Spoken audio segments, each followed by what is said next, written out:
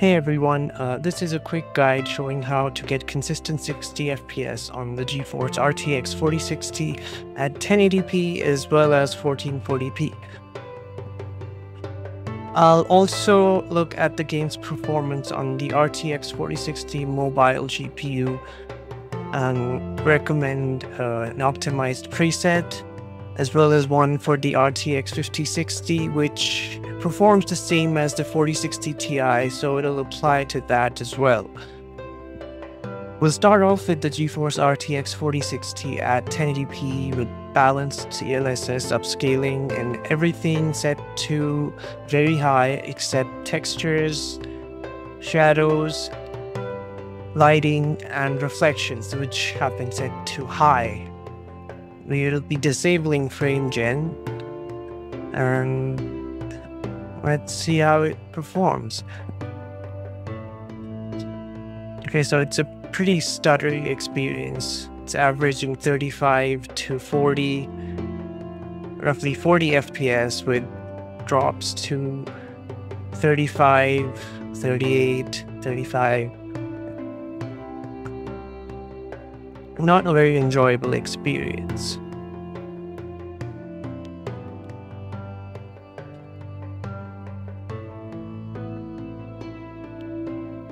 Now let's lower all the settings to medium and see if that makes the game playable.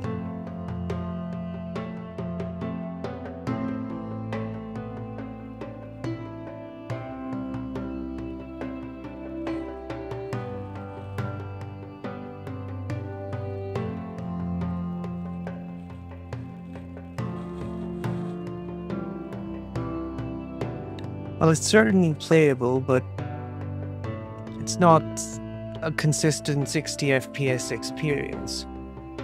The frame rates often drop to 50 and sometimes even the 40s during intense combat encounters. And look at the shadows. At medium, virtual shadows look terrible. They're noisy and they often shimmer and it's just, it's a mess. Like here, it's just just rubbish.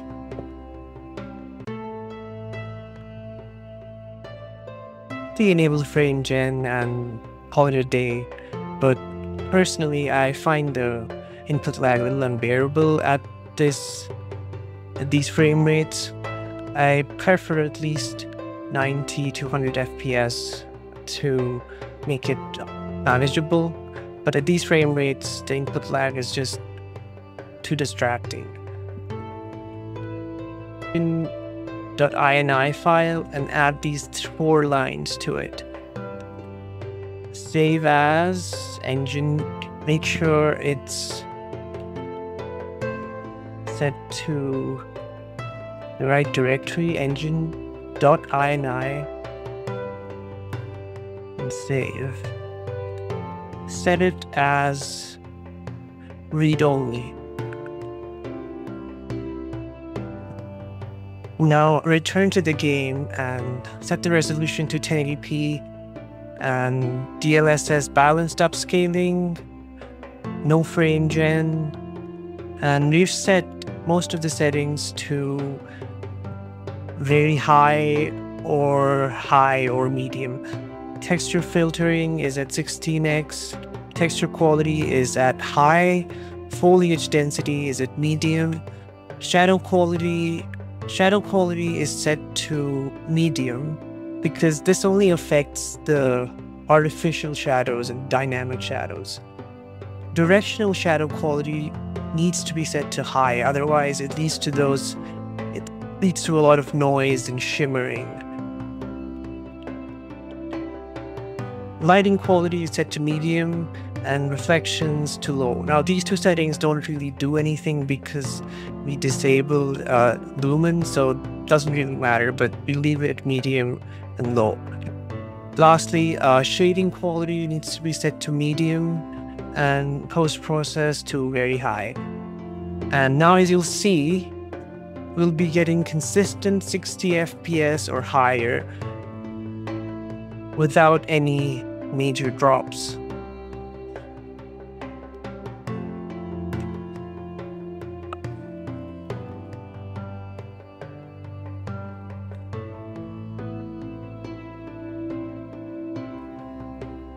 Yeah, that's the stuff.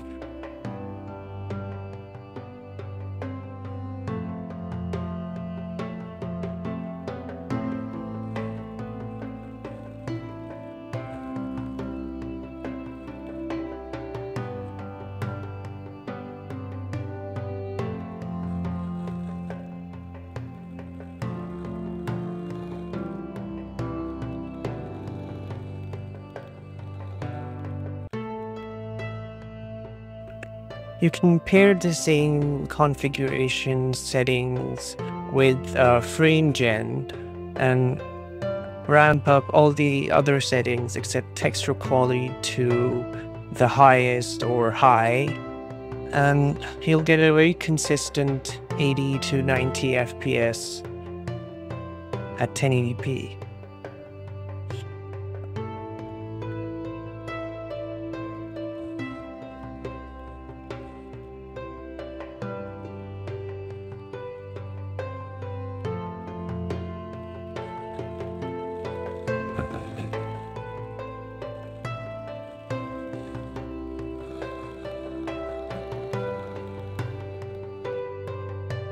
What about 1440p?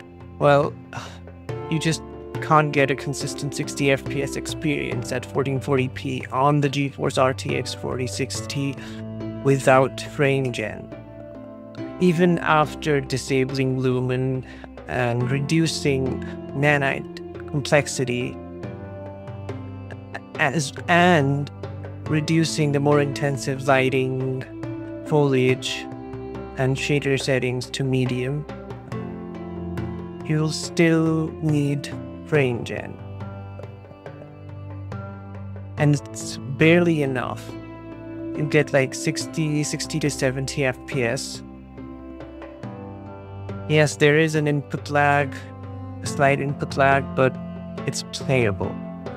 That's what you can expect on an 8GB card at this point.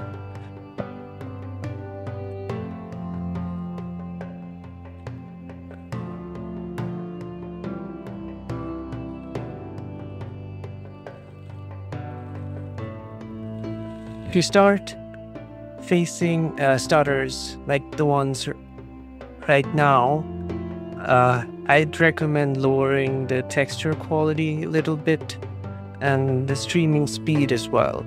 That should smoothen out most of it.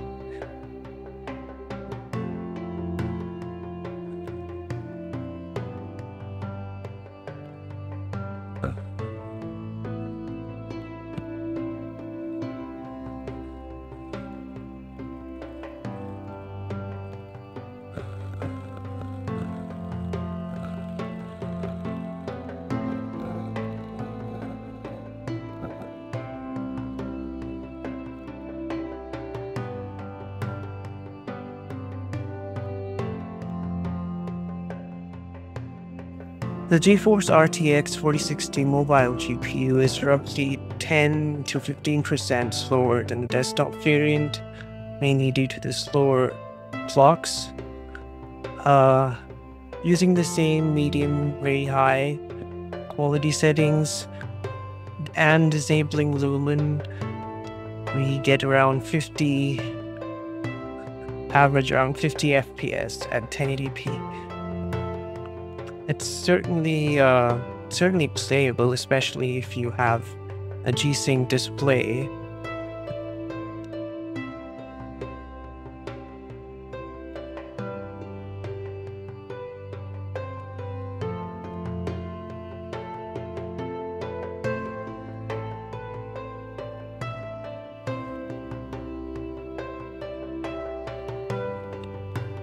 But I, uh, I highly recommend enabling frame gen.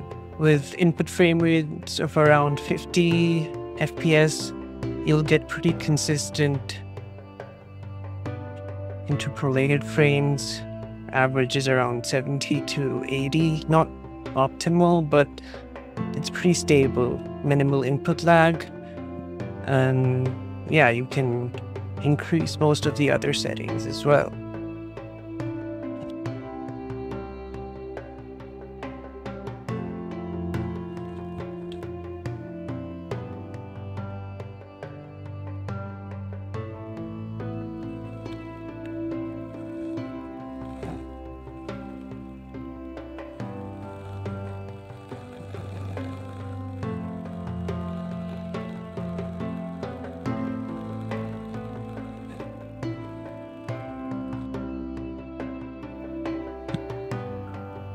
Here we have the GeForce RTX 5060 running at 1080p with balanced upscaling at the very high quality settings with high quality textures. And it's a stuttering mess. That's the RTX 5060, the latest budget GPU for 1080p gaming.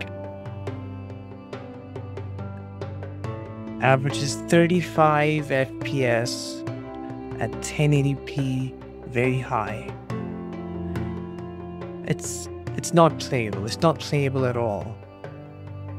And that's with upscaling and no ray tracing. you're running a 5060 at 1080p, then you don't really need to disable Lumen.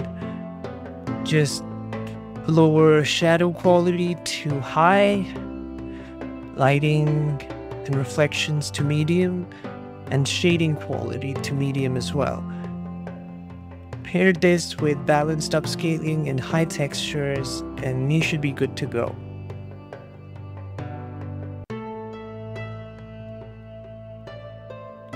You'll get consistent 60 FPS without any drops below 55. And yeah, that's that's as stable as you can get.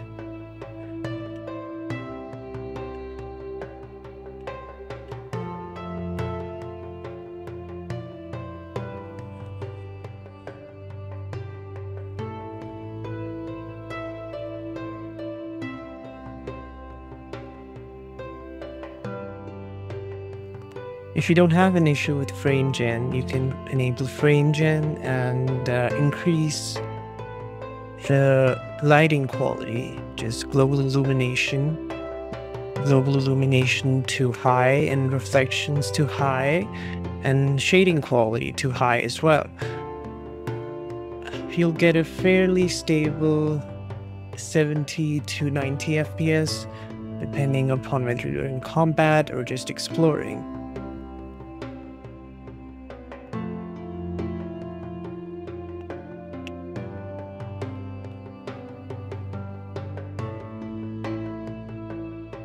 Or you could go a step ahead and enable multi-frame gen 4x, which just pushes you past 140 FPS.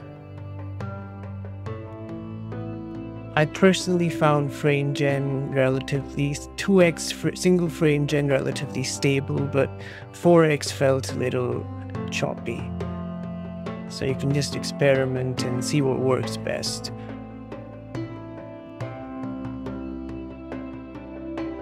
And now 1440p on the RTX 5060.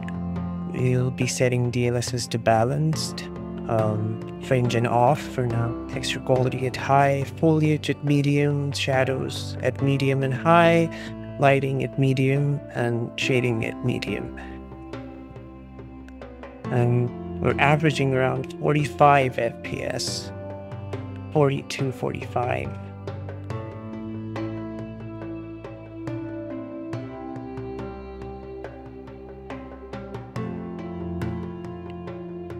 Certainly not playable for me. Pretty choppy with drops to 30 at times.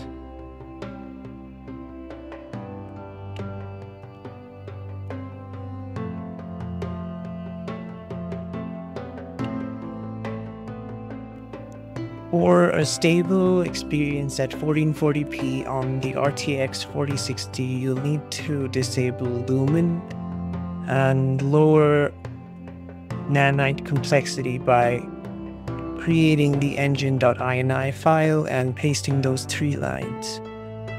You'll also need frame gen. 2x frame gen is sufficient and generally more stable. Texture quality at high, foliage at medium, shadow quality at medium, directional shadows at high to avoid the noisiness Lighting quality doesn't really matter because this lumen is disabled. Reflections, again, doesn't matter. Lumen GI, lumen reflections are disabled. Shading quality at medium. And post-processing doesn't really make much of a difference. So as you can see, we're averaging around 80 yes 80 fps personally found that single frame gen at 1440p in these settings was quite playable minimal input lag and yeah didn't really notice any significant choppiness or frame rate drops Or you could go the multi-frame gen way, which pushes you past 120.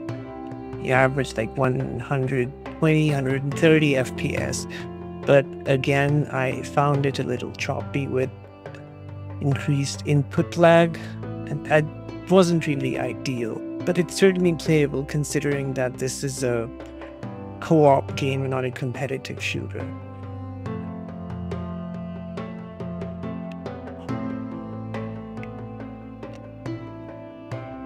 So uh, that's it for this one. I made this video in the middle of the night without any professional editing tools, so pardon me if it's really rough around the corners or the audio is off or the video is just crap. I hope it helps you guys playing Borderlands 4 on PC, I'll be attaching the INI engine.ini file details in the description along with a link to our written optimization guide.